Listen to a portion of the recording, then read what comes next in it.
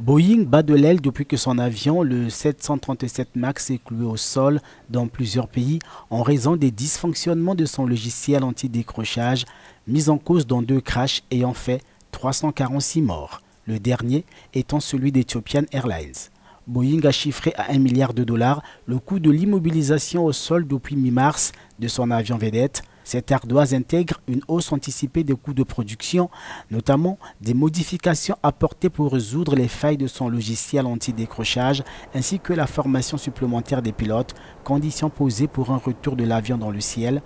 mais elle ne prend pas en compte les éventuelles indemnisations des compagnies aériennes dont les vols programmés sur ces appareils ont été annulés, ainsi que les dommages que Boeing pourrait verser aux familles des victimes des crashs. Mais pour les investisseurs, un milliard de dollars, le coût n'est pas exorbitant.